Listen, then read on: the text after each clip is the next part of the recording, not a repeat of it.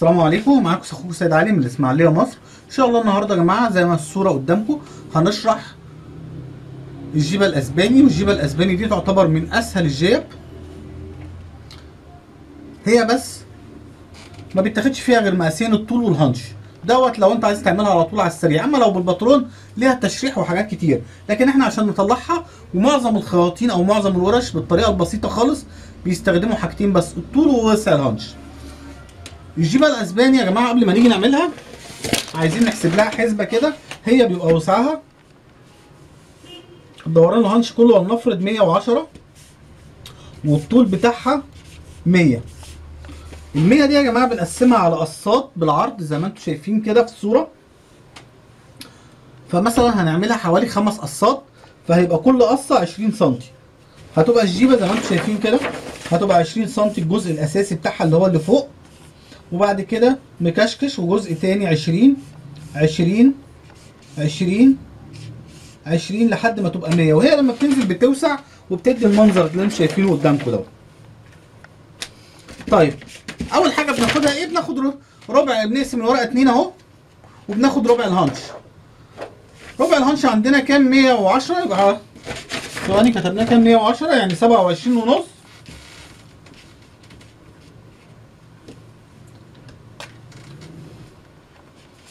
في 20 سم وبنسيب على طول خياطات وإحنا شغالين وبنحط 2 سم سم فوق وسم تحت يبقى 22 علشان ما نقعدش نسيب خياطات بعد كده.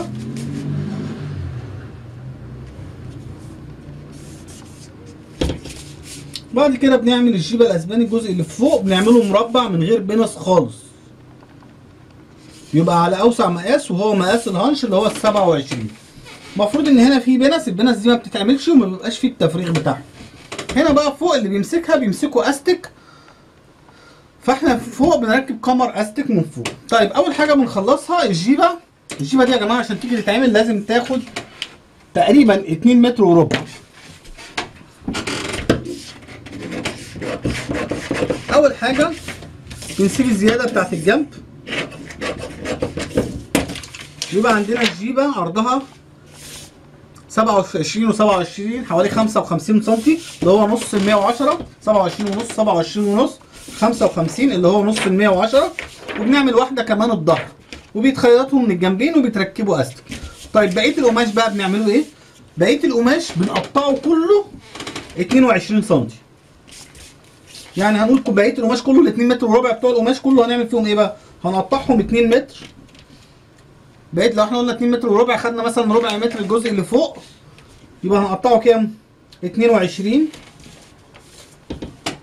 22 22 لحد آخر القماش.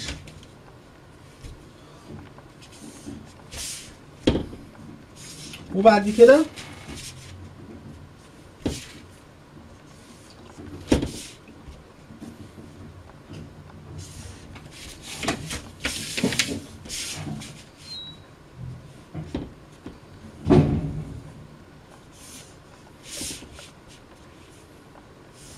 طبعا هيبقى عندي 2 متر. هناخد منهم 22 هيطلع لي حوالي تسع قطع. يعني دول هيطلعوا حوالي تسع قطع. هنعمل فيهم إيه؟ هنقطعهم كلهم علشان نبدأ إن إحنا نعمل الجيبة.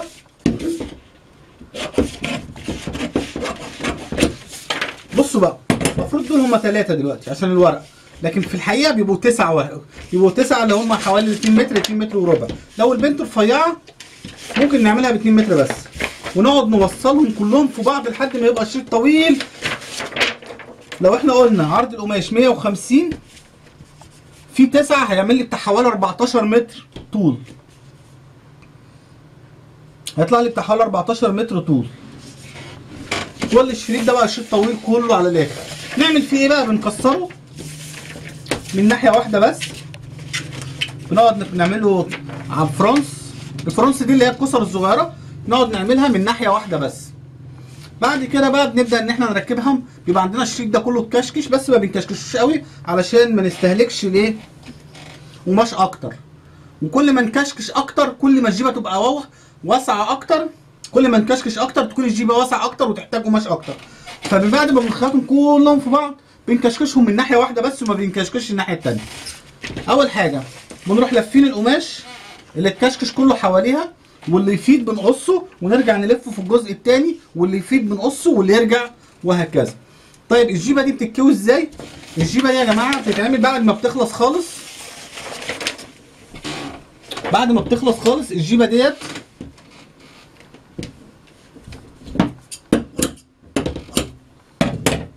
ولنفرض إنها قدامنا كده مثلا الجيبة دي بتتلف.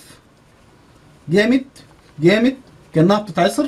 جامد جامد كأنها بتتعصر قوي. على قد ما نقدر الجيبة بعد ما نخلصها خالص بنعصرها قوي وبعد كده بنكلفتها كلها في بعض ونلف عليها خيط بعد ما كده ونلف عليها خيط فتبقى مكوره جامد كده. بعد كده بنكويها بالبخار جامد جامد ونسيبها لحد ما تبرد. أول ما بنفتحها بنلاقي الجيبه عاملة زي الكريشه كده. متكسرة عاملة زي الكريشه أو الشكل الكريشه مع الكشكشة دي بتدي منظر جميل جدا. يبقى المكوة دي محدش يفردها بالمكوة. هي بعد ما بتخلص خالص وبتتكسر بتتبرم جامد جدا جدا. جدا جدا. وبعدين بتتلف جامد وبتحط عليها خيط كويس. وبعد كده بتتكوي بالمكوة البخار. في بعض الستات ما بيبقاش عندهم مكوة بخار فبيجيبوا مية سخنة جدا ويروحوا حاطينها فيها ومطلعينها على طول عشان ما يأثروش على اللون بتاعها ويسيبوها لحد ما تبرد وينشروها تنشف. فتطلع برضو عاملة زي الشكل الكريشه دوت. دي طريقة ودي طريقة.